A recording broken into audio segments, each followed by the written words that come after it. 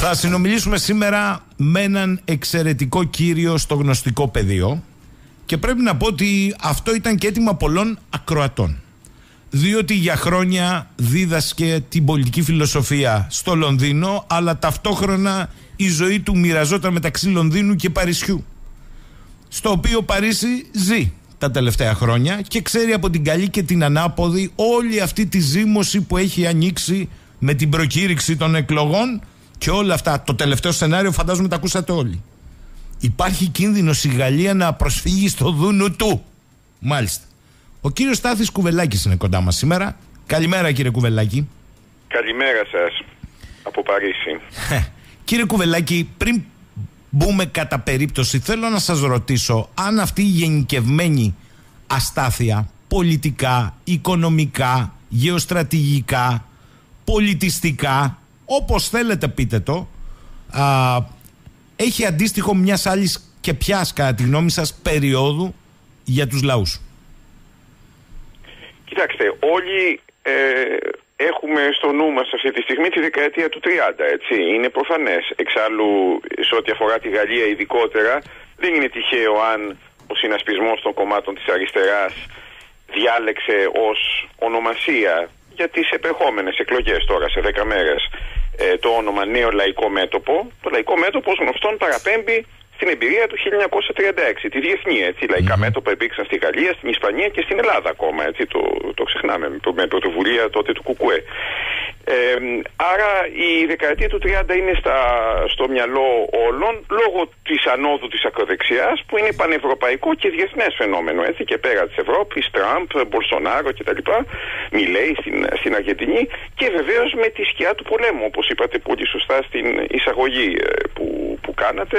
Ε, μπαίνουμε ξανά σε μια περίοδο διεθνούς αστάθειας, ε, εντάσ, αυξανόμενων εντάσεων και υπαρκτών πολέμων. Η Ουκρανία και φυσικά Μέση Ανατολή που ούτως ή άλλως σοβεί η σύγκρουση ε, εδώ και δεκαετίες.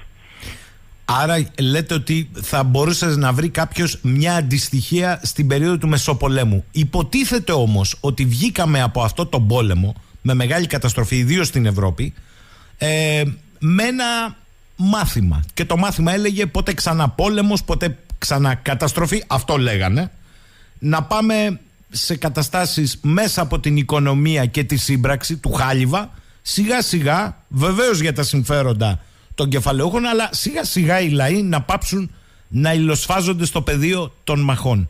Τι είναι αυτό που μας επιστρέφει αυτό το ντεζαβού το οποίο μπορεί να είναι και καρικατούρα ότι επαναλαμβάνεται; Ναι, κοιτάξτε, ε, εάν ε, κοιτάξουμε τη γενική εικόνα τώρα, έτσι, όπως διαμορφώνει μετά, μετά από το Δεύτερο Παγκόσμιο Πόλεμο, ε, έχουμε τα εξής ε, βασικά δεδομένα. Το πρώτο είναι αυτό που αναφέρεται, αρχίζοντας από τη δική μας περιοχή, ας πούμε, έτσι, δηλαδή τη δυτική τότε Ευρώπη. Έτσι, ας μην ξεχνάμε, διέρεση της Ευρώπης σε δύο αντίπαλα στρατόπεδα και στη δυτική Ευρώπη μια διαδικασία ενοποίησης που γίνεται με βασικό επιχείρημα εξάλλου και ως έτσι παρουσιάστηκε. Δηλαδή ότι τέλειωσε η εποχή των πολέμων εντός της Ευρώπης. Στο διεθνές πεδίο Έχουμε βεβαίως μια κατάσταση του κόσμου που χωρίζεται έτσι σε δύο στρατόπεδα και ε, το δυτικό στρατόπεδο είναι κάτω από μια ε, ηγεμονία των ΗΠΑ που ηγεμονεύουν και διεθνώς έτσι ούτως ή άλλως. Δηλαδή τα δύο στρατόπεδα δεν είναι σύμμετρα έτσι μεταξύ τους, σαφώς υπάρχει υπεροχή του δυτικού στρατόπεδου και στο δυτικό στρατόπεδο κυριαρχεί, κυριαρχούν οι Ηνωμένες Πολιτείες. Έτσι ο μεγάλος κερδισμένος φυσικά του δεύτερου παγκοσμίου πολέμου, ενώ οι παραδοσιακές αυτοκρατορίες, Γαλλία, ε, ε, Βρετανία, είναι σε, υπέστησαν μεγάλες ζημιές ας πούμε και βρίσκονται σε μια διαδικασία παρακμής ως, ε, ως απεικιοκρατίες. Το τρίτο στοιχείο είναι βέβαια η άνοδος έτσι, της, ε, η ανεξαρτησία του κόσμου που ήταν τελούσε υποκαθεστώς απικίας έτσι τότε και αυτό έδωσε και μεγάλες πολεμικές συγκρούσεις έτσι, από Ινδοκίνα, Βιετνάμ κτλ. Δεν είναι ειρηνική θέλω να πω διεθνώς η περίοδο μετά τον ε, δεύτερο παγκόσμιο πόλεμο συμμαζεύεται από μεγάλους πολέμους αλλά που γίνονται στις περιφέρειες έτσι, του, του ανεπτυγμένου ας πούμε καπιταλιστικού κόσμου αν θέλετε να το πούμε, να το πούμε έτσι. Τώρα εσωτερικά στην Ευρώπη έχουμε αυτό που εξασφαλίζει μια κατάσταση ε, πρόοδου της οικονομίας και της κοινωνίας αν θέλετε είναι το κοινωνικό συμβόλαιο που ε, εγκαθιδρύεται μετά τον πόλεμο με σημαντικέ κοινωνικές κατακτήσεις στις περισσότερες δυτικές κοινωνίες. Στην Ελλάδα δεν το είδαμε αυτό γιατί είχαμε τον εμφύλιο και τα, και τα παρεπόμενα, αλλά στην υπόλοιπη, εν πάση περιπτώσει, Δυτική Ευρώπη και εν μέρη στις Ηνωμένες Πολιτείες έχουμε το κοινωνικό συμβόλαιο της μεταπολεμικής περίοδου με, μια, με, τη, με το κοινωνικό κράτος, έτσι για να το πούμε με, με δύο λέξεις. Ε, ο, ο νεοφιλελευθερισμός και η παγκοσμιοποίηση τα διαλύουν όλα αυτά, έτσι το βλέπουμε. Δηλαδή, ο νεοφιλελευθερισμός διαλύει το, το συμβόλαιο που, που υπήρχε, ανοίγει μια περίοδο γενικευμένη πολιτικής αστάθειας σε όλες τις ανεπτυγμένες καπιταλιστικές χώρες. Ε, η Αμερικάνικη, η παγκοσμιοποίηση, ενώ στην αρχή φαίνεται να εξυπηρετεί την Αμερικάνικη ηγεμονία, τελικά βλέπουμε ότι νέες δυνάμεις, όχι μέσα από το κέντρο της, ε, ε του καπιταλισμού, mm. αλλά από τις περιφέρειες αναδεικνύονται νέες δυνάμεις. Στην πραγματική. κι αυτές. Ναι. Κίνα, φυσικά, άρα η λέτε... ονομαζόμενη ο Νότος. Κύριε Κουβελάκη, άρα λέτε πρακτικά ότι ακόμη και το εφεύρημα, αφήγημα της παγκοσμιοποίησης που ξεκινά να τακτοποιεί τα οικονομικά κυρίως μεγέθη της υπερδύναμης, στο τέλος γίνεται το όχημα που βγαίνει στο προσκήνιο η Κίνα, διότι η Κίνα... Βεβαίως. Μάλιστα. Βεβαίως έτσι είναι. Ακριβώς έτσι είναι. Δηλαδή, ε, και, και αυτό, αν θέλετε, εξηγεί αυτή τη στιγμή φυσικά και την επιθετικότητα της Αμερικής και της Δύσης.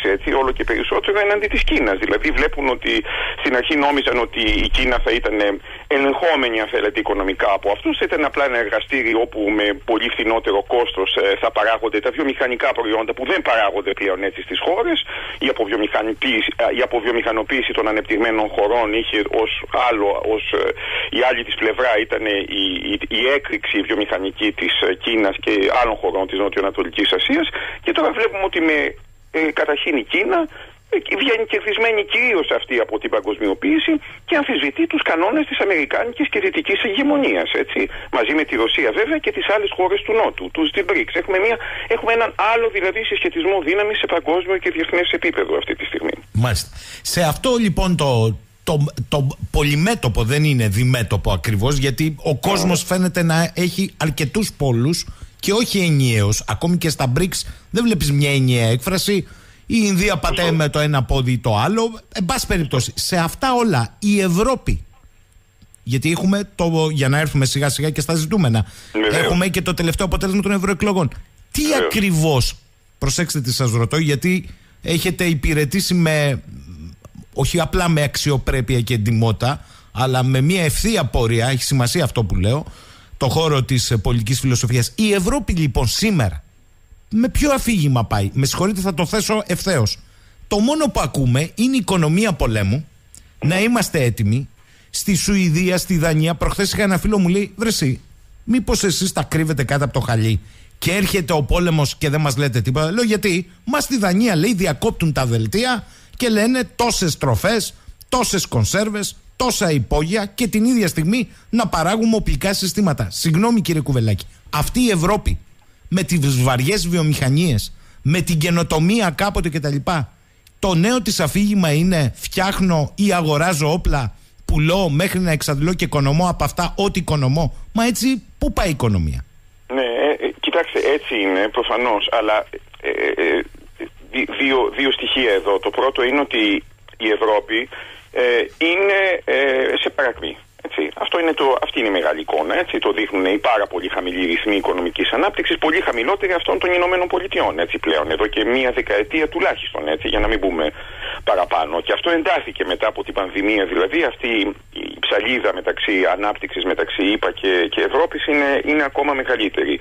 Η μεγαλύτερη οικονομία της Ευρώπης, δηλαδή η Γερμανία, βρίσκεται σε κατάσταση στασιμότητας ή υποχώρησης ουσιαστικά έτσι, τα τελευταία χρόνια. Η μοναδική που είχε διατηρήσει μια βιομηχανική βάση εξάλλου έτσι, ε, μέσα, στην, ε, μέσα στην Ευρώπη. Λοιπόν, αυτό είναι το ένα στοιχείο. Το δεύτερο είναι αυτό που είπατε, ότι με τον πόλεμο της Ουκρανίας έχουμε μια ε, πώς να την πούμε, μια στροφή αν θέλετε προς την, ε, προς την προετοιμασία πολέμου της οικονομίας αλλά και της κοινωνίας γενικότερα. Έτσι. Στην Αγγλία υπάρχει συζήτηση που ποτέ δεν είχε υποχρεωτική στρατιωτική θητεία για να, να γίνει τώρα, δηλαδή υποχρεωτική η στρατιωτική θητεία. Το κρίσιμο όμως είναι το εξής. Είμαι αρκετά μεγάλος στην ηλικία για να θυμάμαι τη στιγμή, πολύ καθαρά μάλιστα, γιατί ήμουν και πολιτικά ενεργός ήδη από τότε, τη στιγμή της εισόδου της Ελλάδας τότε στην ΕΟΚ, έτσι. Και γενικά υπήρχε ένα κομμάτι, αν θέλετε, του κόσμου, πούμε, του προοδευτικού χώρου, που υποστήριζε αυτή την ε, προοπτική, λέγοντας ότι η Ευρώπη σημαίνει και μια σχετική αυτονομία τότε, έτσι, με τους όρους τότε, έναντι της Αμερικής και της, του Ανατολικού Μπλοκ. Έτσι, ότι ε, Ποια αυτονομία. Εδώ μιλάμε για μια Ευρώπη εντελώς νατοϊοποιημένη. Έτσι. Δηλαδή όλα αυτά γίνονται υπό την ασφικτική ηγεμονία του ΝΑΤΟ. Το είδαμε εξάλλου αυτό και με την, με την ίδια την Ευρωπαϊκή Ένωση. Κάθε διεύρυνση της Ευρωπαϊκής Ένωσης σε νέες χώρες προηγείται αυτή της διεύρυνσης η ένταξη αυτών των χωρών στο ΝΑΤΟ και μετά μπαίνουν στην Ευρωπαϊκή Ένωση. Και τώρα βλέπουμε πλήρη ευθυγράμμιση της Ευρώπης σε όλα τα σημεία. Δηλαδή το θέμα της Παλαιστίνης είναι προφανώς κραυγαλαίο έτσι, mm. τη ευθυγράμμισης της Ευρώπης με, με τις Ηνωμένες Πολιτείες, ταξίδι της Ούρσουλα Φόντερ Λάγεν στο Τελαβίβ. Εντάξει, τα ξέρουμε τώρα αυτά, δεν είναι ανάγκη να το λέω. Το τρίτο, αν θέλετε, και κλείνω εδώ για να μην μακρηγορώ, είναι ότι ε, στη, η Γαλλία ε, είναι σε ε, διαδικασία αποβιομηχάνησης από τις πιο προχωρημένες στην Ευρώπη. Ο μοναδικός τομέας της βιομηχανίας της που κρατάει είναι η βιομηχανία όπλων έτσι, και οπλικών συστημάτων. Και στην Ελλάδα το ξέρουμε αυτό γιατί αγοράζουμε από την Τασό αεροπλάνα, φρεγάτες και, και τέτοια πράγματα. και τώρα θεωρούν ότι ο πόλεμος στην Ουκρανία και αυτή η τάση που είδαμε πριν για την, προς το μιλιταρισμό αν θέλετε, στην Ευρώπη, είναι και μια ευκαιρία για να δοθεί μια νέα όθηση σε αυτό το τομέα που είναι και ο τελευταίος εδώ που τα λέμε, που έχει μείνει στην γαλλική βιομηχανία. Α, αυτή λοιπόν η εικόνα της Ευρώπης ε, με συγχωρείτε τι λέει για τους λαούς της και τι κατά τη γνώμη σας και πώς κατά τη γνώμη σας αποκωδικοποιείται το όποιο μήνυμα ή μηνύματα των ε, ευρωεκλογών διότι εδώ έχουμε και ραγδαίες εσωτερικές εξελίξεις και μάλιστα όχι σε τυχαίες χώρες. Ε, η Αγγλία είναι εκτός Ευρωπαϊκής Ένωσης, αλλά οδηγείται σε εκλογές, εσπεσμένα. Η Γαλλία ομοίως. Στη Γερμανία, στο Σόλτς το λένε όλοι, κάνε εκλογές. Γενικώς υπάρχει ένα κλίμα, φαίνεται πολιτικής, πώς να το πω, δεν θα πω κρίσης. Εσείς θα μας πείτε αν είναι κρίσης. Τι συμβαίνει στην πραγματικότητα, τι πιστεύετε ότι αντιλαμβάνεται ο περισσότερος κόσμος, ότι αυτή η Ευρώπη, η παρικμασμένη, όπως είπατε, δεν έχει και ένα νέο αφήγημα, εν πάση περιπτώσει. Κοιτάξτε, δεν είναι. Ε, ναι, δεν έχει νέο αφήγημα, αλλά δεν έχει νέο, το θέμα δεν είναι μόνο το αφήγημα, αν θέλετε. Το αφήγημα είναι ένα σύμπτωμα. Μιας, η έλλειψη αφηγήματος, αν θέλετε, είναι ένα σύμπτωμα μιας βαθύτερης κατάστασης που είναι ότι οι κοινωνίες εδώ έχουν συντριβεί.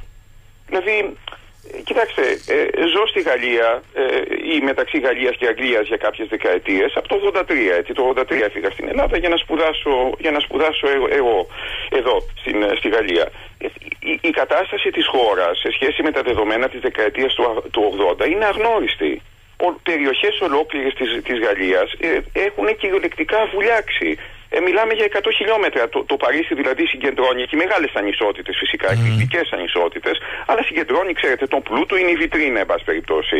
Άμα, άμα βγείτε 100 χιλιόμετρα βόρεια, ε, ανατολικά και νότια από το, από το Παρίσι, θα δείτε μια κατάσταση όπου ε, μικρές πόλεις και μεγαλύτερες ακόμα, έτσι, μεσαίες πόλεις, τα μαγαζιά, το, το κέντρο έχει ερημωθεί, τα μαγαζιά έχουν, έχουν κλείσει, ε, η οικονομία έχει τελείως βουλιάξει αυτών των, ε, αυτών των περιοχών οι δημόσιες υπηρεσίες είναι σε κατάσταση διάλυσης. Δεν μπορώ να σας μιλήσω για την κατάσταση των νοσοκομείων εδώ. Έχω άμεση εμπειρία δηλαδή από αυτά τα πράγματα. Δυστυχώς, αν θέλετε, έτσι και προσωπική και από κοντινά πρόσωπα. Μου θυμίζει η κατάσταση της Ελλάδας που άφησα τότε, τη δεκαετία του 80, με ράντσα μέσα στους διαδρόμους επαρχιακών νοσοκομείων. Ε, ε, ε, υπάρχουν προβλήματα στην ηλεκτροδότηση, πράγματα αδιανόητα αν θέλετε για τη Γαλλία στο παρελθόν. Ο νεοφιλελευθερισμός έχει διαλύσει τις κοινωνίες και οι χαμένοι αυτής της, ε, αυτής της υπόθεσης, επειδή έχουν υποστεί αυτές τις πολιτικές και από αριστερές κυβερνήσεις, γιατί επί δεκαετίες αριστερές, σοσιαλιστικές επί του προκειμένου έτσι, κυβερνήσεις ε, ε, επέβαλαν αυτή την πολιτική στη Γαλλία, στρέφονται αυτή τη στιγμή στην ακροδεξιά, ιδιαίτερα στα λαϊκά στρώματα, όχι μόνο, έτσι, αλλά ιδιαίτερα στα λαϊκά στρώματα που έχουν υποστεί το μεγαλύτερο πλήγμα, που αισθάνονται εγκαταλελειμμένα αυτή τη στιγμή, προδομένα από τις πολιτικές δυνάμεις που υποτίθεται κάποτε παραδοσιακά τις εκπροσωπούσαν, στρέφονται αυτή τη στιγμή προς την ακροδεξιά. Και το φαινόμενο είναι διεθνές, απλά στη Γαλλία είναι ιδιαίτερα οξυμένο. Ε, λέει εδώ ο φίλος ο Γιάννης από τις Βρυξέλλες. Στη Γαλλία, λέει κύριε Κουβελάκη, σχεδόν όλοι οι οικονομικοί δείκτες φαίνονται στο κόκκινο. Και η Ευρωπαϊκή Ένωση ακούμε ότι ετοιμάζει να επιβάλλει πρόστιμο 2,5 δις λόγω υπερβολικών ελλημάτων, ενώ ανοίγει και μια συζήτηση για το ΔΝΤ. Είναι πραγματικά, λέει όλα αυτά, ή είναι εν ώψη των πολιτικών εξελίξεων ένας τρόπος πίεσης στο εσωτερικό της Γαλλίας; Ή και τα δύο; Ναι, θα έλεγα και τα δύο αν θέλετε. Έτσι. Δηλαδή ας μην ξεχνάμε ότι από το Γενάρη αυτής της ε, χρονιάς ισχύει σε ευρωπαϊκό επίπεδο, έτσι, το ονομαζόμενο αναθεωρημένο σύμφωνο σταθερότητας. Το οποίο, όπως ξέρετε, είχε χαλαρώσει, είχε δηλαδή στην ουσία είχε μπει στην, στην άκρη την περίοδος τη πανδημία. Και είχαμε διόγκωση των ελλημάτων σε όλες περίπου τις ευρωπαϊκές χώρες. Ε, αυτό εξάλλου επέτρεψε, αν θέλετε, να μειωθεί σε ένα βαθμό το κοινωνικό κόστος, ας πούμε, της, και οικονομικό κόστος της πανδημίας. Από το Γενάρη αυτής της χρονιάς έχουμε ξανά πίσω τα γνωστά κριτήρια του Μάστριχτ. Δηλαδή, πολύ απλά λιτότητα αυτή τη στιγμή. Και έχουμε την Ευρωπαϊκή Επιτροπή που ξαναπέζει τον παραδοσιακό της ρόλο, που είναι αυτός να επιβάλλει τη λιτότητα ε, στις ε, ευρωπαϊκές χώρες. Έτσι. Άρα αυτό είναι το γενικό πλαίσιο. Τώρα, ε, στη Γαλλία είχαμε όντως μια διόγκωση των, ε, των ελλημάτων ε, Όπως ξέρετε, η πολιτική των ελλημάτων να θεωρείται δηλαδή απόλυτο κακό τα ελλείμματα, αυτό είναι η νεοφιλελεύθερη πολιτική, έτσι. Η οποία βέβαια στηρίζεται στο γεγονός ότι επειδή οι χώρες αυτές δεν μπορούν πλέον να αναχρηματοδοτηθούν το χρέος, το ξέρουμε τώρα αυτά στην Ελλάδα, έχουμε γίνει μέτρα αυτής της ιστορίας, έτσι. Εσωτερικά όπως γινόταν κάποτε, εξαρτώνται από τις διεθνείς αγορές, τα κράτη τελούν από την επιτήρηση διαρκώς των διεθνών ε, αγορών, άρα γίνεται ένας εκβιασμός, αν θέλετε, εκεί. Το τρίτο είναι αυτό που είπε και ο, ο συνομιλητής σας από τις ε, από τις Βρυξέλλες, ότι λόγω της πολιτικής συγκυρίας αυτή τη στιγμή στη Γαλλία και του σοβαρού ενδεχόμενου η αριστερά να, να ε, παίξει, να προηγηθεί, να παίξει ένα σημαντικό ρόλο, να κυβερνήσει, δεν ξέρω δηλαδή, εν πάση περιπτώσει, ε, αλλά είναι με αναπτερωμένα αυτή τη στιγμή τα, τα, ε, τις δυνατότητές της, ε, να, το, το γνωστό αφήγημα της κινδυνολογίας, έτσι. Ε, κάτι τέτοιο όχι τόσο έντονο φυσικά όσο αυτό που ζήσαμε στην Ελλάδα κάποτε έτσι, αλλά κάτι που θυμίζει αν θέλετε αυτή την, ε, αυτή την ατμόσφαιρα. Ε, λέει εδώ πέρα ένας φίλος και θα μπούμε τώρα στη Γαλλία αμυγός γιατί ενδιαφέρει όλη την Ευρώπη το τι θα συμβεί στη Γαλλία. Λέει να ενημερώσετε τον κύριο Κουβελάκη πως η κατα... την ξέρει ο κύριος Κουβελάκης. Η κατάσταση που άφησε στην Ελλάδα δεν είναι και τόσο διαφορετική από αυτό που βλέπει σήμερα στη Γαλλία. Η Γαλλία όμως τουλάχιστον γνώρισε μια περίοδο ακμής, λέει, σε πολλούς τομείς. Η Ελλάδα όχι. Βιώνει μια μόνιμη παρακμή με εκλάμψεις μόνο προς τα ζητήματα βιτρίνας και όχι τα ουσίας. Ε, προφανώς. Εντάξει. Ε, έτσι είναι κύριε Σαχίνη. Απλά διαπιστώνω κάθε φορά που μιλώ με, με ε, φίλους ε, Έλληνες που ζουν στην Ελλάδα θέλω να πω και δεν έχουν άμεση αν θέλετε εικόνα της κατάστασης έξω. Υπάρχει ένας μύθος όπως ξέρετε της Ευρώπης στην Ελλάδα και όταν συχνά διηγούμε την κατάσταση απελπισίας που βρίσκονται μεγάλα κομμάτια της κοινωνίας στη Γαλλία και, και περιοχές ολόκληρες της Γαλλίας ό,τι είναι πίσω από την τουριστική βιτρίνα αν θέλετε έτσι ε, στη Γαλλία ο κόσμος εκπλήσεται σου λέει, μα είναι, είναι τόσο άσχημο όσο είναι στις στοχοποιημένες περιοχές π.χ. της Βόρειας Ελλάδας. Και τους λέω, έτσι, ίσως και χειρότερα. Τι συμβαίνει στην πραγματικότητα πολιτικά στη Γαλλία αυτή τη στιγμή, και θέλω να σας ρωτήσω, από αυτή την ιστορία, είτε το μέτωπο της Λεπέν, γιατί δεν είναι πια μόνο η Λεπέν, είναι ένα ολόκληρο μέτωπο. Οι γκολικοί μπορεί να λένε ότι περιορίζουν τον πρόεδρό τους, αλλά εγώ καταλαβαίνω ότι το 50 με 60% και των στελεχών θα ακολουθήσουν τον πρόεδρο και θα πάνε στη συμμαχία με τη Λεπέν. Απ' την άλλη έχετε το λεγόμενο λαϊκό μέτωπο. Ο ιτημένος είναι το αποκαλούμενο και κέντρο. Ναι, κοιτάξτε, σαφώς. Ε, ε, είναι το, η, η Γαλλία έχει, ο Μακρόν, αν θέλετε, έχει την εξής ε, ιδιαιτερότητα που πρέπει να έχουμε στο νου μας.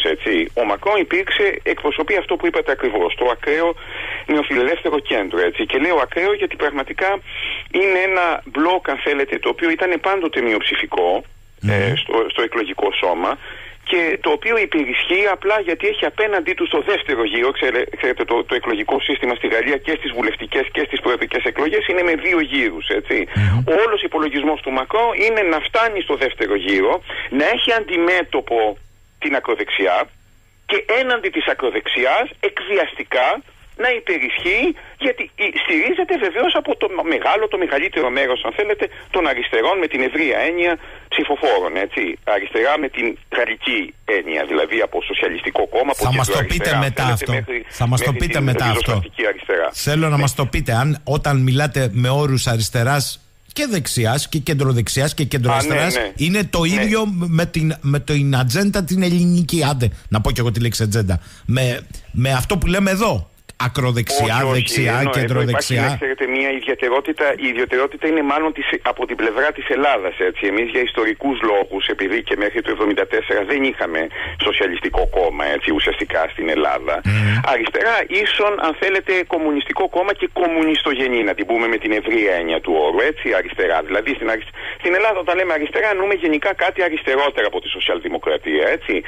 Ο γαλλικός όρος αριστερά, γκος, με εξίσου βαθύς ιστορικούς για εξίσου βαθύς ιστορικούς λόγους, συμπεριλαμβάνει τη σοσιαλδημοκρατία και φυσικά το κάποτε έτσι, πολύ ισχυρό κομμουνιστικό κόμμα, όχι πλέον προφανώς, ε, αλλά γενικά υπάρχει μια ριζοσπαστική αριστερά στη Γαλλία, με Λανσόν δηλαδή, και αυτή αποτελεί μέρος της αριστεράς. Μπορώ να σας πω ότι και, από, και η εξοκοινοβουλευτική αριστερά στη Γαλλία, η οποία μπορεί να είναι αδύναμη εκλογικά, αλλά έχει παίξει έναν ιστορικό ρόλο. Έτσι. Λοιπόν, άρα η έννοια αριστερά της Γαλλίας με, με ελληνικούς όρους καταλαβαίνετε ότι θα ήταν, ας πούμε, κάτι που πάει από τον Ανδρουλάκη μέχρι την Ανταξία, ας πούμε.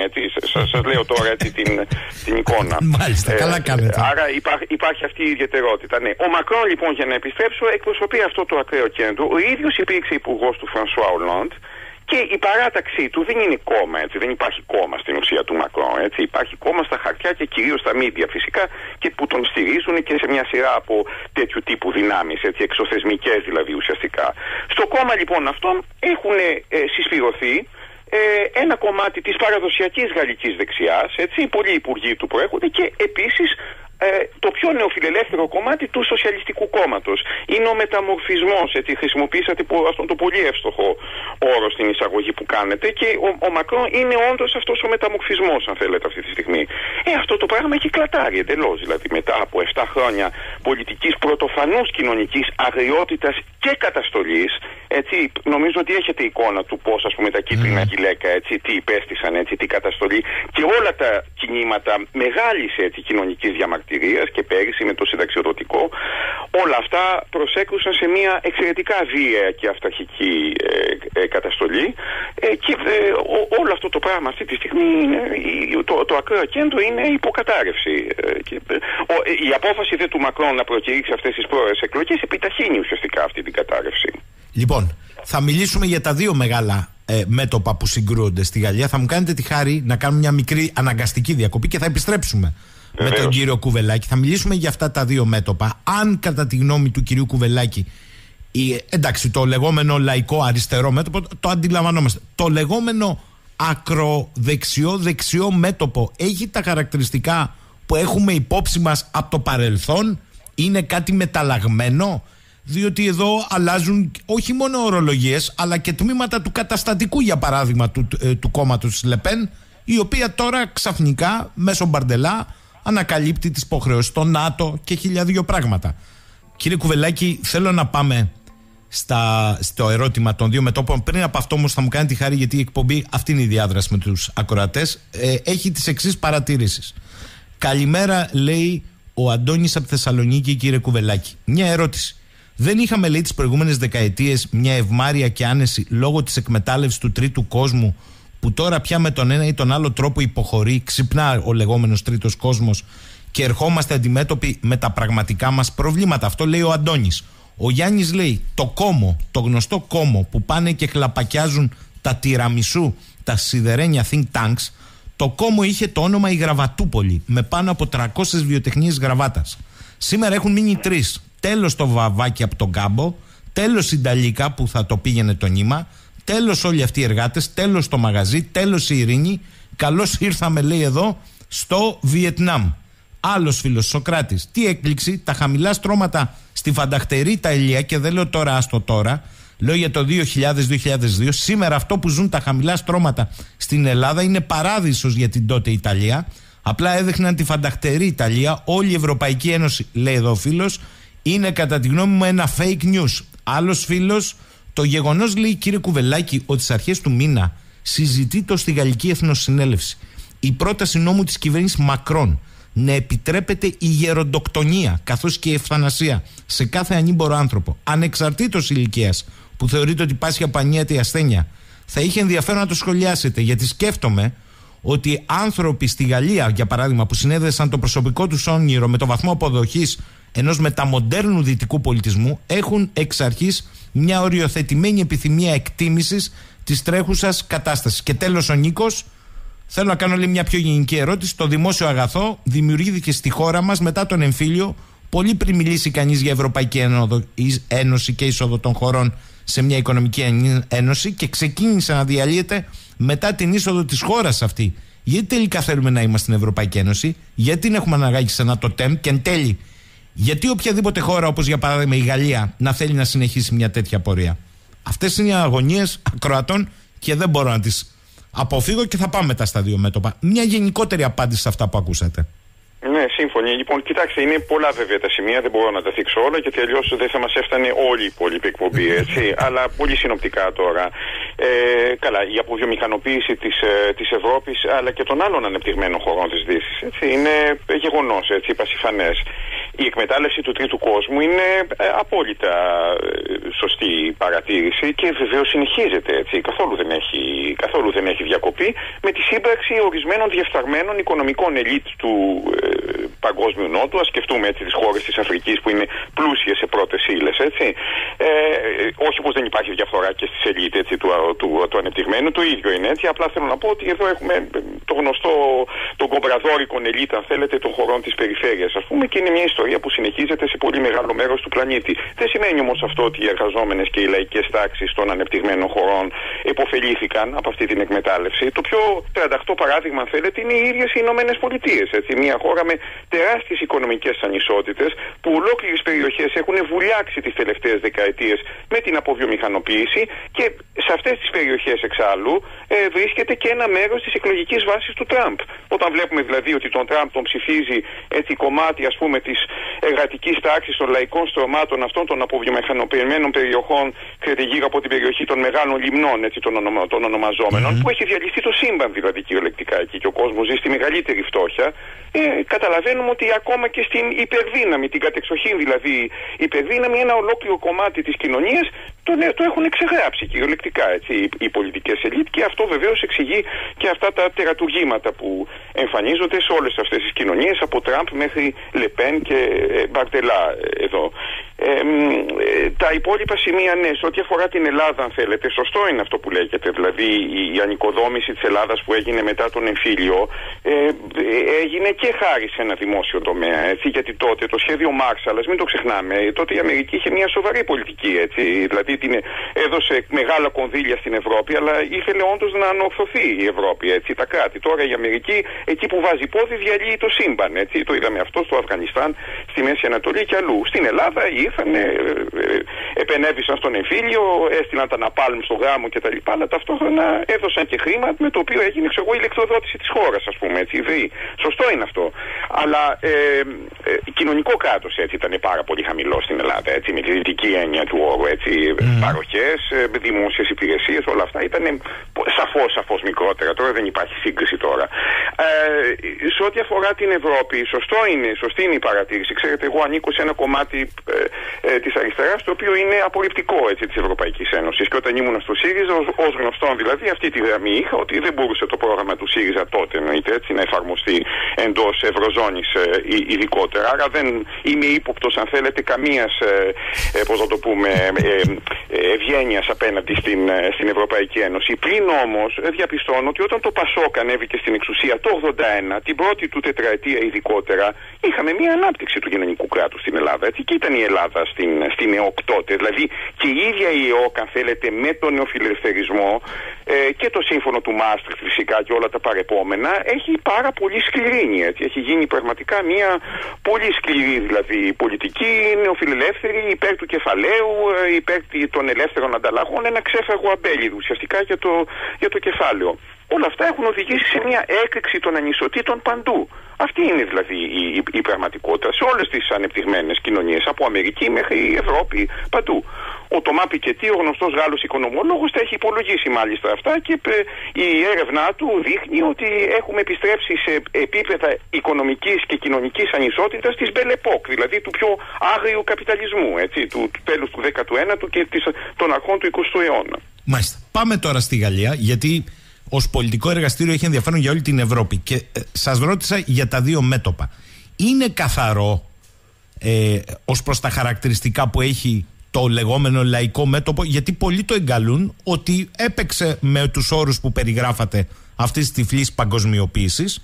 Εν αντιθέσει με το λεγόμενο δεξιό, άκρο δεξιό, ας το πείτε όπως θέλετε, ε, μέτωπο που πλέον συγκροτείται υπό το κόμμα κυρίως της κυρίας Λεπέν, αλλά εδώ και οι γκολικοί έχουν προσχωρήσει ένα μεγάλο τους κομμάτι το οποίο φαίνεται έστω και με ένα τυφλό στρεβλό τρόπο επιστροφή στα έθνη κράτη έτσι, έτσι διαβάζεται να κρατάει κόντρα να το πω έτσι. Και κάποιοι μου λένε εδώ γιατί δεν υπάρχει και η πολιτισμική ταυτότητα αταυτότητα, αταυτότητα της μη ενσωμάτωσης ιδίως με τις, με τις καραβιές πια των προσφύγων που κάποιοι μιλούν για Ισλαμοποίηση αλλά στη Γαλλία υπάρχουν ολόκληρα γκέτο από τη μια μη αποδοχή όμως δεύτερης τρίτης γενιάς και της πολιτισμικής κουλτούρας στην οποία υποτίθεται θα σωματώνονταν. Ωραία, πολλά ερωτήματα. Λοιπόν, να αρχίσουμε από, τι, από την ακροδεξιά ή από το λαϊκό μέτωπο της αριστεράς; Πιάστε το λαϊκό μέτωπο για να πάμε. Α πούμε από το λαϊκό μέτωπο. Λοιπόν, κοιτάξτε, το λαϊκό μέτωπο, γενική εικόνα τώρα, έτσι, το λαϊκό μέτωπο, στη συνέχεια αυτό που έλεγα πριν για τον όρο αριστερά στη Γαλλία. Το λαϊκό μέτωπο έχει ε, συμπεριλαμβάνει από Φρανσουά Ολάντ, έτσι τώρα δεν είναι ανάγκη τώρα να πω τι είναι έτσι ο Φρανσουά Ολάντ, είναι υποψήφιος του λαϊκού μετόπου στην ε, περιφέρεια όπου προηγουμένως είχε εκλεγεί ως βουλευτής έτσι, στο κέντρο της Γαλλίας, έτσι, σε μια έτσι, πολύ ε, συνήπεθρο, έτσι, μια, μια περιοχή υπαίθρου, την, την, την Κορέα. Λοιπόν, πιάνει από Φρανσουά Ολόντ μέχρι Φιλίπ Πουτού. Ο Φιλίπ Πουτού είναι ο επικεφαλής ενός κόμματος της εξοκοινοβουλευτικής τροτσκιστική αριστεράς. Φανταστείτε τώρα στην Ελλάδα, με είχαμε ένα σχήμα το οποίο θα έπιανε από κάτι αντίστοιχο του Φρανσουά Ολόντ, ξέρω εγώ τον Αντουλάκη, ας πούμε, του, του Πασόκ, μέχρι το κεντρικό εμβληματικό στέλεχος της Ανταρσία. Γιατί περί αυτού πρόκειται, έτσι, σε ό,τι αφορά τον, τον Φιλίπ Πουτού. Αδιανόητο προφανώς, έτσι, για τα ελληνικά δεδομένα. Τώρα θα μου πείτε πώς έγινε αυτό το πράγμα δυνατό στη Γαλλία; Λοιπόν,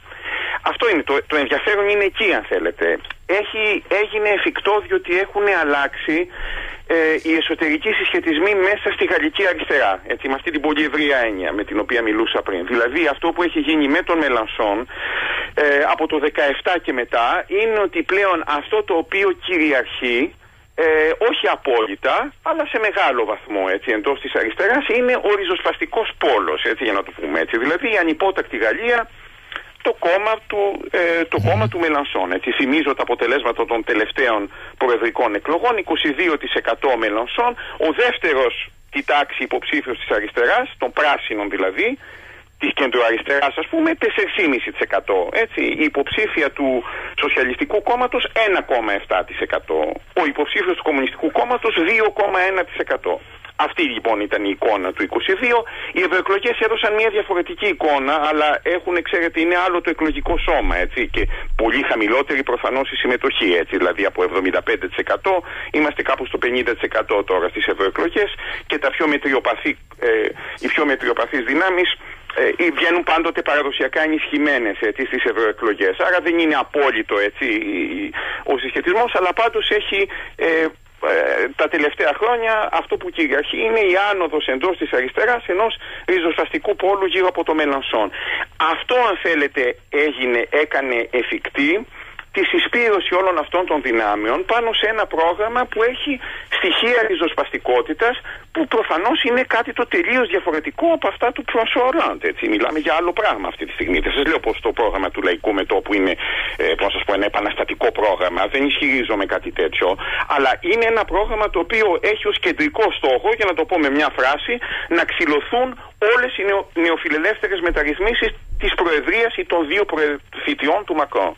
Αυτό είναι έτσι, με δύο λόγια έτσι, αυτή τη στιγμή. Mm-hmm. Συν κάποια ε, σημαντικά στοιχεία για, τη, για εξωτερικής πολιτικής, ειδικά για το θέμα της Παλαιστίνης. Έτσι, με, με άμεση αναγνώριση του Παλαιστινιακού κράτους και επιβολή κυρώσεων στο Ισραήλ. Έτσι. Όλα αυτά έγιναν διότι το ειδικό βάρος της του ριζοσπαστικού πόνου, αν θέλετε, της αριστεράς υπό τον Μελανσόν έχει ενισχυθεί όλα τα τελευταία χρόνια και δίνει τον τόνο, αν θέλετε, έτσι, μέσα στην, ε, μέσα στην αριστερά. Αυτό είναι το ένα στοιχείο. Ε, τώρα, αυτά που είπαν οι ακροατές σας για, την, ε, για την ακροδεξιά. Κοιτάξτε να δείτε, η, ε, η γαλλική κοινωνία. Καταρχάς, ε, θέλω, να μου πείτε, θέλω να μου πείτε. Ναι, μπορεί, παρακαλώ, ναι, ναι. Μπορούμε να τη λέμε πλέον ακροδεξιά; Είναι σωστός ο όρος, αυτό ρωτώ. Φυσικά, φυσικά, εννοείται, εννοείται. Κοιτάξτε, η, η παραδοσιακή, κοιτάξτε, υπάρχει μια τεράστια ποιοτική διαφορά ανάμεσα στην Λεπέν και την παραδοσιακή γαλλική δεξιά. Την από είτε, είτε ήταν αυτή του Ζισκάρ Ντεστέν, είτε του Σιράκ και, και του Σαρκοζί, αν θέλετε. Έτσι, αν και ο Σαρκοζί είναι μια πιο υβριδική περίπτωση. Η παραδοσιακή γαλλική δεξιά είναι ένα συντηρητικό αστικό κόμμα. Έτσι, είναι ένα κόμμα που θεωρεί ότι, εν πάση περιπτώσει, τα πράγματα κατά βάση πηγαίνουν, πηγαίνουν σωστά, ας πούμε, και ότι πρέπει να έχουμε εντάξει, ένα κλασικό δεξιό συντηρητικό κόμμα. Η ακροδεξιά έχει έναν λόγο που δεν είναι με μία έννοια καθόλου συντηρητικός. Αντίθετα, είναι ένας είναι ένας λόγος κατεξοχήν πολιτικός. Έχει στοιχεία, στο πούμε, ριζοσπαστικότητας, αν θέλετε, ο λόγος της ε, ακροδεξιάς. Μόνο που αυτή, η, ε, αυτός ο λόγος δεν κατευθύνεται ενάντια ξέρω εγώ, όπως έχει η αριστερά, ας πούμε, ξέρω εγώ, στους πλούσιους, στο κεφάλαιο, πείτε το, την αστική τάξη, πείτε το όπως θέλετε, ε, κατευθύνεται ενάντια σε εσωτερικούς εχθρούς στην κοινωνία και οι εσωτερικοί εχθροί της κοινωνίας είναι οι μετανάστες, ε, οι ημιγκρέ και προσέξτε στη Γαλλία ο όρος ημιγκρέ δεν σημαίνει απαραίτητα του μετανάστες αυτούς που έρχονται τώρα πρόσφατα, αυτό που είπε ο αναγνώστας που έρχονται με βάρκες κτλ. που είναι τους ή άλλω μικρά, μικρά νούμερα, μικροί αριθμοί. Όχι, μιλάμε για ένα κομμάτι της γαλλικής κοινωνίας που απλά δεν είναι λευκή. Έτσι. Δηλαδή είναι καθαρά ρατσιστικό. Αυτό το οποίο ενοποιεί την ακροδεξιά είναι ο ρατσισμός. Ο λόγος που εκπέμπει η ακροδεξιά είναι ένας λόγος όπου κυριαρχεί το ξενοφοβικό και ρατσιστικό στοιχείο. Ξενοφοβικό απέναντι σε όσους θεωρούνται ότι έρχονται απ' έξω. Ρατσιστικό όμως γιατί δεν μιλάμε πλέον στη Γαλλία όπως το είπατε ε, στις ερωτήσεις. Έτσι. Μιλάμε πλέον για άτομα το οποίο είναι εδώ τρίτη-τέταρτη γενιά. Ξέρετε η γαλλική κοινωνία ένας στους τέσσερις Γάλλους έχει παππού ή γιαγιά ή και τους δύο που έρχονται που, που δεν ήταν Γάλλοι έτσι. Δηλαδή η, η μετανάστευση είναι κάτι που σημαδεύει τη γαλλική κοινωνία από το 19ο αιώνα. Πριν ήταν οι Ιταλοί, οι Ισπανοί και μετά ήρθαν και από, και από αλλού έτσι. Δηλαδή μεγάλο κομμάτι της κοινωνίας. Ε, όταν δεν είσαι λευκός, δεν πάνε να είσαι 3, 4, 5 γενιές, σε θεωρούν ακόμα ξένο και σε ρωτάνε από πού προέρχεσαι. Και άμα δεν έχεις, ε, και άμα είσαι μουσουλμάνος, είναι ένα επιπλέον επιβαρυντικό στοιχείο και λόγω απεικιοκρατικού παρελθόντος η Γαλλία και η γαλλική κοινωνία έχει ειδικό πρόβλημα με τους μουσουλμάνους και τα άτομα που προέρχονται από, από αραβικές χώρες. Έτσι. Ο πόλεμος της Αλγερίας έχει τραυματίσει πάρα πολύ την γαλλική κοινωνία και οι λογαριασμοί με αυτό το απεικιοκρατικό παρελθόν δεν έχουν ακόμα ε, δεν έχουν γίνει, αν θέλετε. Δεν έχουν ξεκαθαρίσει αυτοί, αυτοί οι λογαριασμοί. Σε αυτά λοιπόν πατάει η ακροδεξιά, μέσα σε συνθήκες αυτές που περιέγραψα πριν, κοινωνικής ερήμωσης, φτωχοποίησης των λαϊκών στρωμάτων, εγκατάλειψης των ε, λαϊκών στρωμάτων από αυτούς που, που παραδοσιακά τους εκπροσωπούσαν. Τόσο στην αριστερά όσο και στη δεξιά, να το τονίσουμε αυτό, δεν υπάρχει πια αγκολισμό στη Γαλλία εδώ και καιρό. Ε, είπατε η γκολική δεξιά, εδώ και καιρό έχει πάψει να είναι γκολική. Η γκολική δεξιά είχε έναν κοινωνικό λόγο και είχε μια λαϊκή βάση. Α μην το ξεχνάμε αυτό. Ε, αυτό έχει προφανώς ζήσει, τελείωσε. Και αυτά τα στρώματα έχουν πάει μονοκούκι προς την Άρα έχουν μετακινηθεί, λέτε, στις αγκαλιές του κόμματος κυρίας Λεπέ. Αυτά, αυτά αυτή ναι. η βάση. οπότε και τα όποια στελέχη δηλώνουν ως απόγονοι του γκολισμού ε, τελικά τσακώνονται για τις καρέκλες. Φεύγει ο πρόεδρος ή ταμπουρώνεται ο πρόεδρος, διαφωνούν οι άλλοι, αλλά η ουσία είναι ότι η βάση έχει φύγει ήδη. Αυτό μου λέτε. Η εκλογή, ναι, κοιτάξτε, σαφώς. Καλά, μιλάμε για ένα κόμμα τα ποσοστά του οποίου πλέον κινούνται γύρω στο 7%. Και αν δείτε την ψήφο ανακοινωνικής κατηγορίας στις λαϊκές τάξεις, η παραδοσιακή δεξιά έχει ποσοστά χαμηλότερα από την εξοκοινοβουλευτική αριστερά. Δεν, δεν, ξέρω αν μπορείτε να το, να το συλλάβετε αυτό. Έτσι είναι όμως.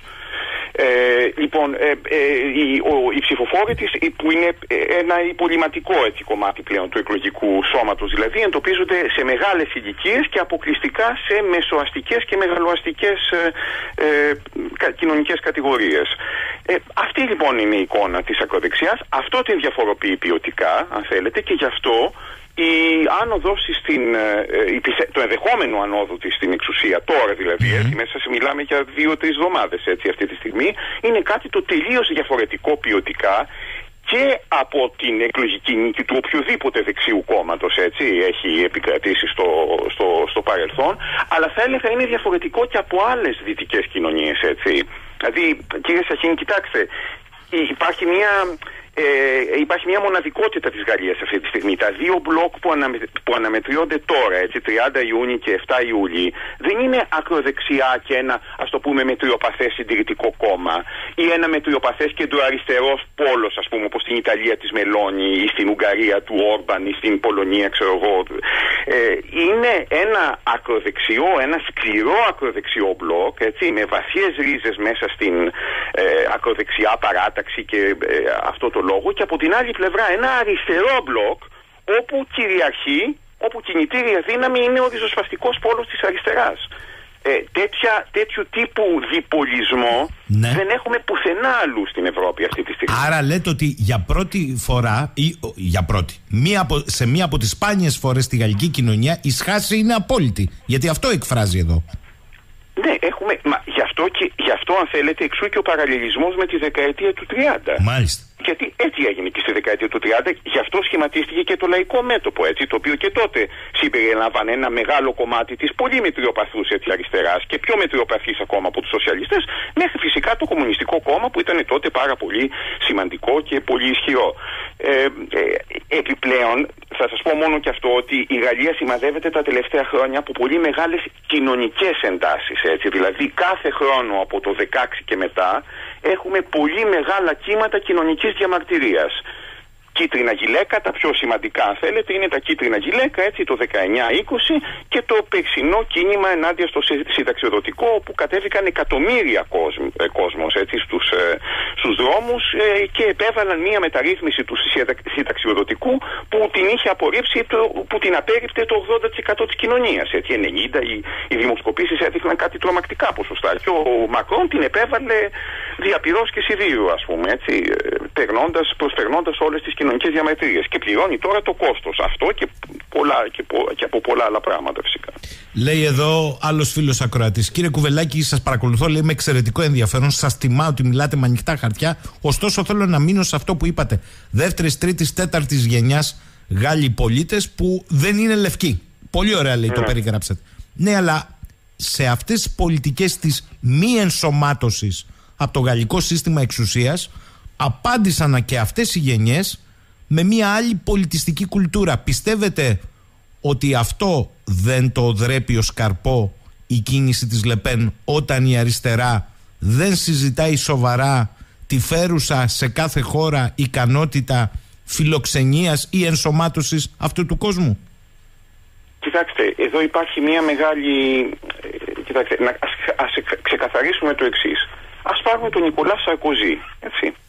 Το όνομα Σαρκοζή είναι ουγγρικό κανένας από τους, ε, ε, ε από τους γονείς του Νικολάς Σαρκοζή κανείς δεν γεννήθηκε Γάλλος έτσι.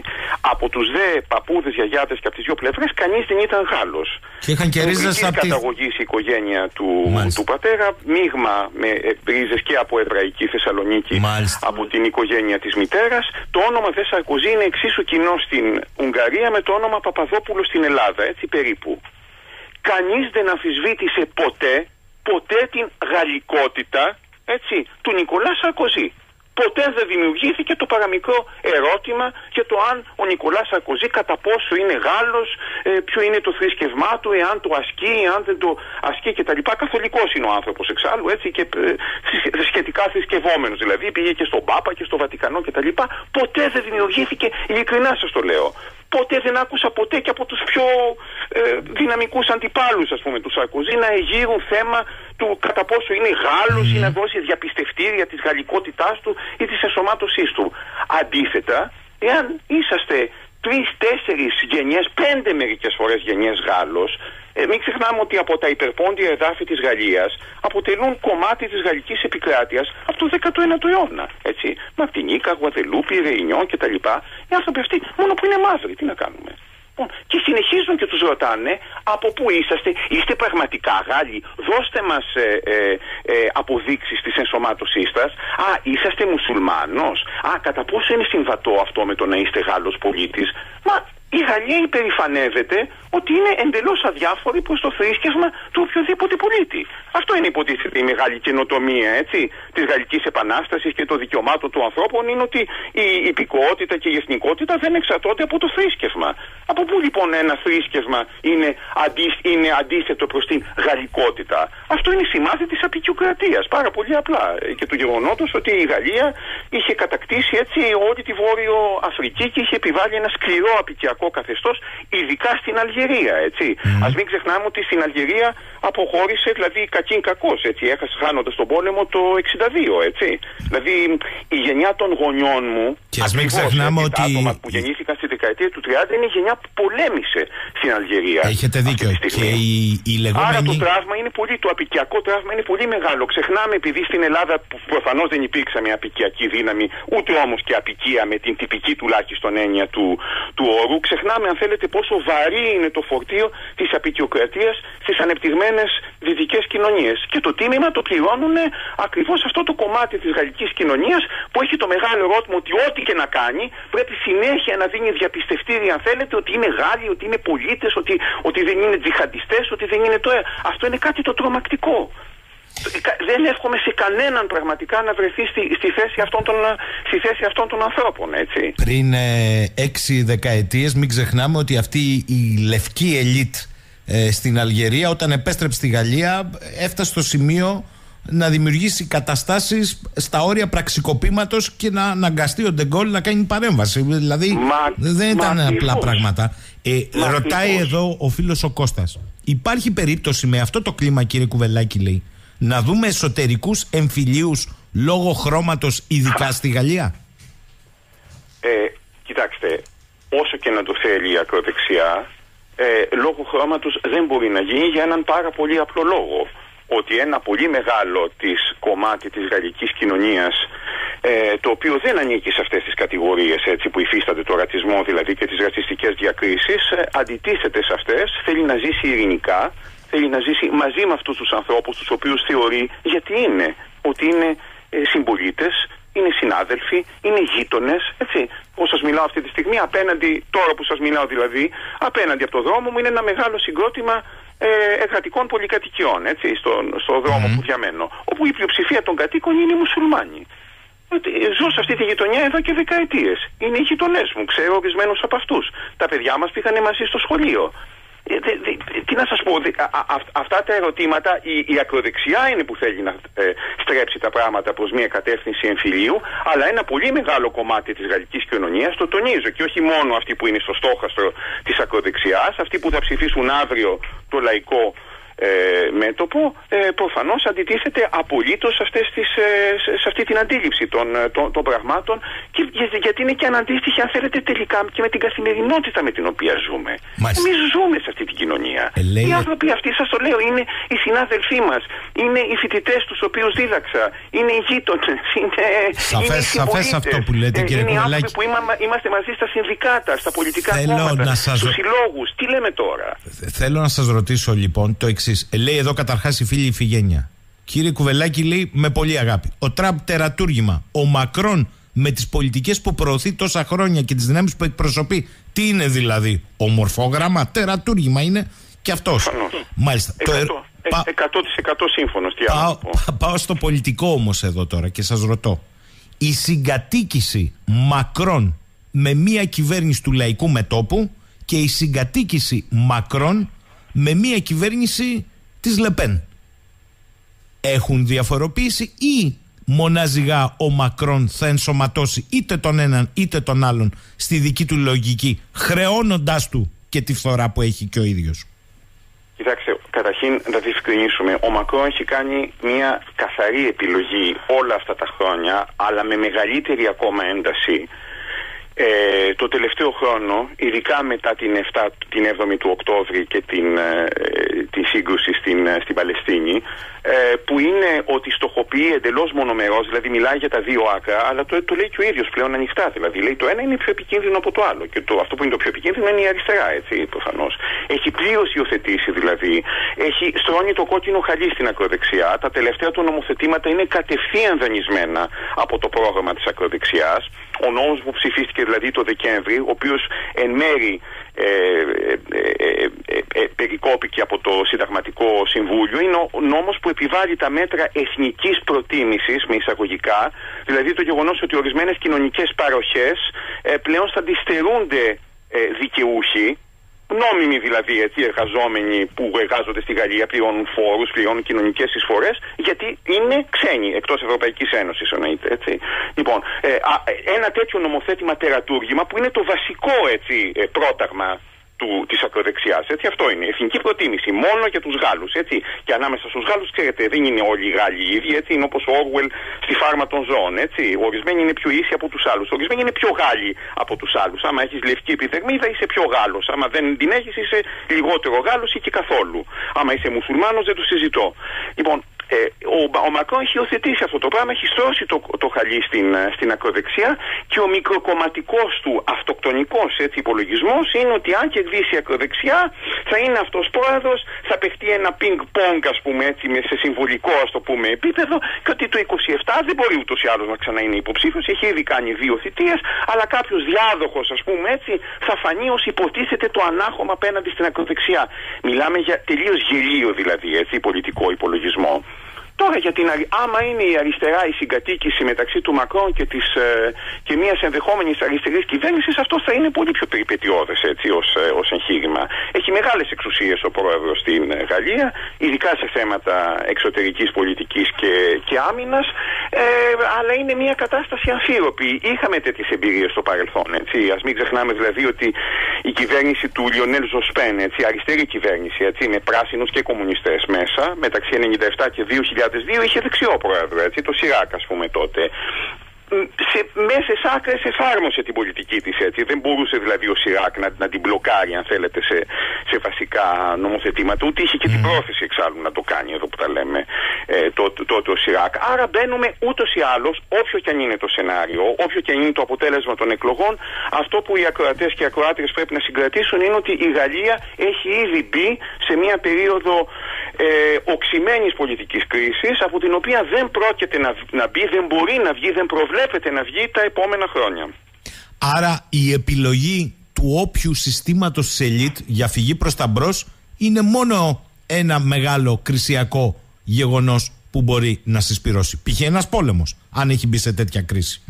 Κάνω λάθος; Ε, ναι, έχετε δίκιο. Μάλιστα. Έτσι, γίνονται, έτσι γίνονται οι πόλεμοι. Όταν η εσωτερική συνοχή των κοινωνιών απειλείται, βρίσκουμε έναν βολικό εχθρό, τον Πούτιν για παράδειγμα, έτσι, που έχει γίνει πλέον κάτι το τελείως μυθικό, έτσι, ξέρετε, είναι όπως ο κακός, ας πούμε, των ταινιών του Hollywood, ας πούμε, και το, ως τέτοιος πλασάρεται από τα μίντια, άμεση απειλή, ας πούμε, κάποτε ήταν, ξέρετε, ο κομμουνισμός και τα ρωσικά τάγκ, ας πούμε, τα υποτι, που υποτίθεται ότι ήταν έτοιμα να εισβάλλουν στη Δυτική Ευρώπη και να παρελάσουν στα ηλίσια πεδία του, του Παρισιού. Λοιπόν, ε, τώρα είναι ο Πούτιν, ας πούμε, πλέον που είναι, που είναι η απειλή και άρα πρέπει να κλιμακώνεται διαρκώς η σύγκρουση στην Ουκρανία και να στέλνουμε διαρκώς ε, οπλικά συστήματα στο διεφθαρμένο αντιδραστικό και ημιφασιστικό εδώ που τα λέμε έτσι καθεστώς του, του, του Ζελένσκι για να συντηρείται αυτή η κατάσταση και για να τη σέβεται ας πούμε για να αποδυναμώνεται δηλαδή η Ρωσία και να κερδίζει η Δύση ας πούμε στο, στον ανταγωνισμό που γίνεται στη διεθνή σκακέρα. Αλίμονο, αλίμονο στις ευρωπαϊκές κοινωνίες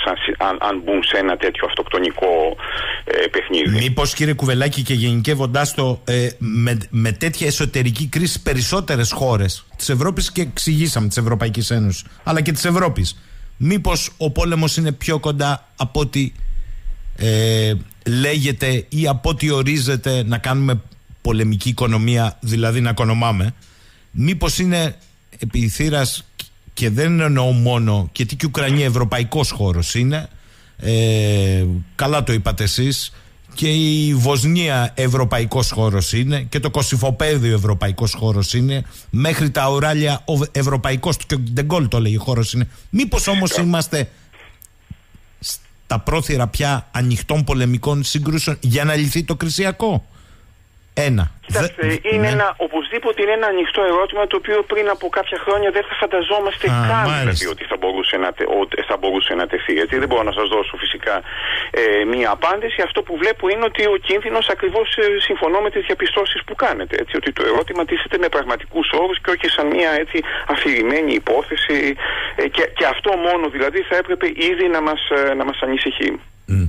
Λέει εδώ ο φίλος ο Βασίλης, θέλω να σας ρωτήσω, λέει κύριε Κουβελάκη, Ακούω από πολλούς αναλυτές στην Ελλάδα και στη Γαλλία αλλά και στην Ευρώπη ότι η συμμαχία του λαϊκού μετόπου υπό τον Μελανσόν, αυτή είναι η αλήθεια λέει, ε, έχει στις τάξεις της όχι μόνο καταπιεσμένους για το θρήσκευμά τους μουσουλμάνους, αλλά και ακραίους Ισλαμιστές. Ισχύει λέει αυτό; Καλά, εντάξει, κοιτάξτε, αυτό είναι καθαρά ε, η, η όλη μέσα στην παράκρουση αν θέλετε του ακροδεξιού λόγου που έχει γίνει όλο και πιο κυρίαρχος διότι κυριαρχεί πλέον σε πολύ μεγάλο κομμάτι των media. Δηλαδή αυτό που είδαμε στη Γαλλία τα τελευταία χρόνια είναι ότι ένας συγκεκριμένος δισεκατομμυριούχος που δημιούργησε την, ε, το, ε, την περιουσία του ως απικιακό κεφάλαιο. Έτσι. Δηλαδή ήταν από τις βασικές εταιρείες που έκαναν απεικιοκρατικό εμπόριο στη Δυτική Αφρική, έτσι, στις πρώην απικίες Δυτικής Αφρικής, ο κύριος Βενσάν Μπολορέ. Αυτός έχει αγοράσει αυτή τη στιγμή τρία κανάλια μεγάλης ακροαματικότητας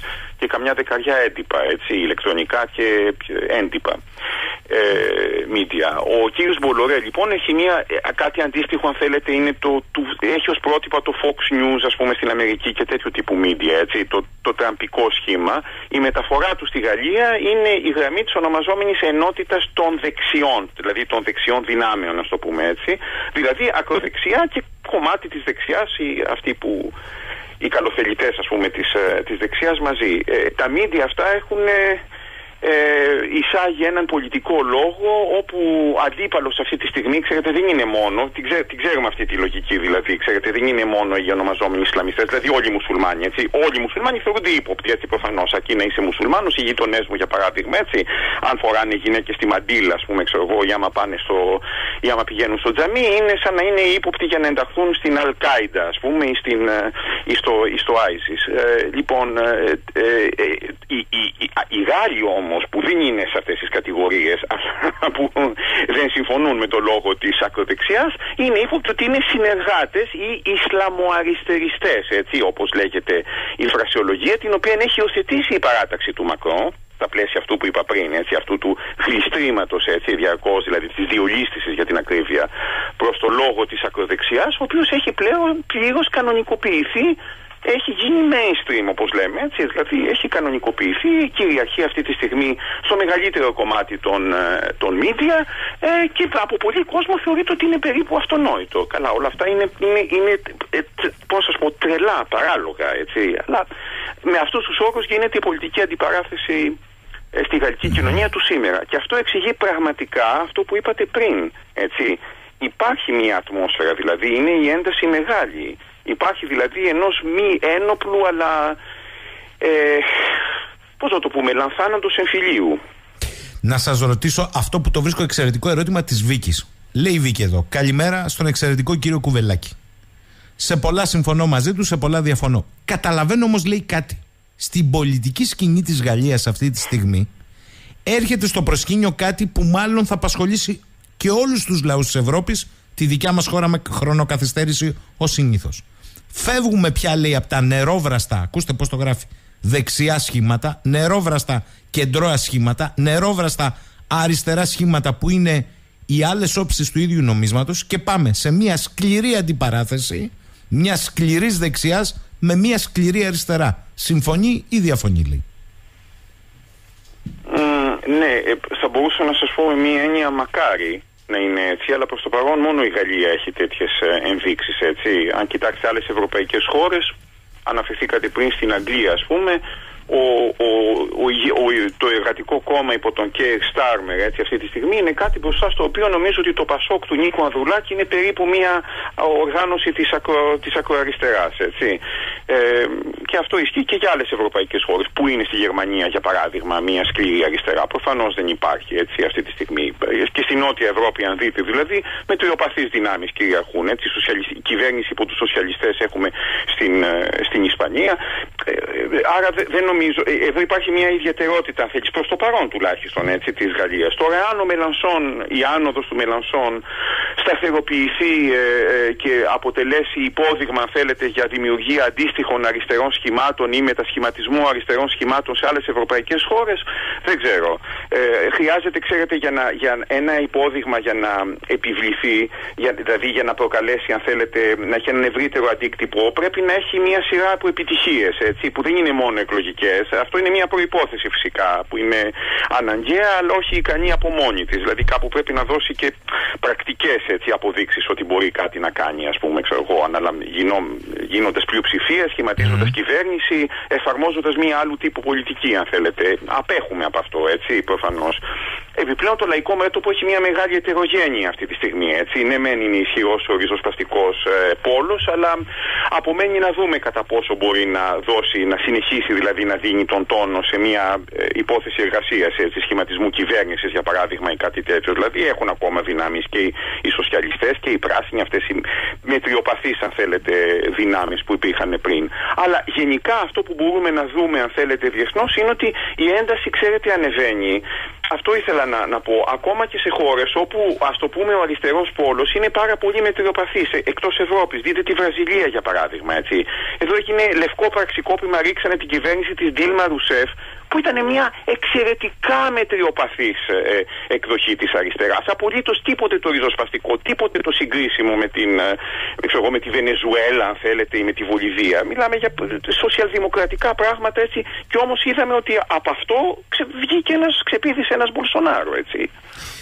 Ε, θέλω να κλείσουμε με ένα ερώτημα του Βασίλη, το, ο οποίος είναι με άλλη οπτική. Λέει ο Βασίλης, κύριε Κουβελάκη, η κυρία Λεπέν δεν είναι ούτε το κλασικό πρότυπο Σαρκοζή ούτε το κλασικό ε, πρότυπο Μακρόν. Θέλω να πω δηλαδή δεν είναι με ένα παγκοσμιοποιημένο νεοφιλελεύθερο όπως το είπατε εσείς σκληρό φιλελευθερισμό νεοφιλελευθερισμό αλλά με άλλα χαρακτηριστικά. Μήπως αυτό εκφράζει την αγωνία των κοινωνιών που καταβαραθρώνονται στην Ευρώπη και γι' αυτό ανεβάζει διαρκώς τα ποσοστά της. Στην τελική για μένα λέει το πρότυπο της Ευρώπης, καλός ή κακός, έχει συγκεκριμένα και ταυτοτικά χαρακτηριστικά. Αυτά τα προσπερνάμε; Ε, κοιτάξτε, καταρχήν τι εννοούμε τα στοτικά χαρακτηριστικά. Ε, Εννοεί για παράδειγμα το θρησκευτικό, ναι. ότι είναι χριστιανική η Ευρώπη στην πλειοψηφία της. Εντάξει, ναι. Υποτίθεται ότι η, η γαλλική, αν θέλετε, από την γαλλική πολιτική παράδοση σε επίπεδο, σας μιλάω του γαλλικού ε, κράτους. Βέβαια, βέβαια. Οι Γάλλοι ονομάζουν Ρεπιμπλίκα από τη Γαλλική Επανάσταση και μετά που συνδέει πλήρω, όπως είπα πριν, αυτά τα δύο. Δηλαδή, η έννοια του έθνου, αν θέλετε, είναι μια έννοια της πολιτικής κοινότητας. Δεν υπησέρχεται το θρήσκευμα μέσα στον ορισμό, αν θέλετε, του ποιος είναι ή ποιος δεν είναι, ποιος έχει ή δεν έχει αυτή την εθνική ταυτότητα. Άρα θα έλεγα ότι εδώ συγκρούνται δύο διαφορετικές αντιλήψεις για το τι είναι το έθνος και η εθνική ταυτότητα αυτή που είναι στην παράδοση, αν θέλετε, της Γαλλικής Επανάστασης, των δημοκρατικών επαναστάσεων και, το, και του, του σοσιαλισμού και του εργατικού κινήματος προφανώς, έτσι, που θεωρεί ότι το έθνος είναι η πολιτική κοινότητα και η ακροδεξιά ε, παράδοση που συνδέει το έθνος με ράτσα, με φιλή, δηλαδή θέλω να πω με την έννοια του, του, του, του ρατσισμού, με την έννοια ενδεχομένως του θρησκεύματος και όλα αυτά τα πράγματα.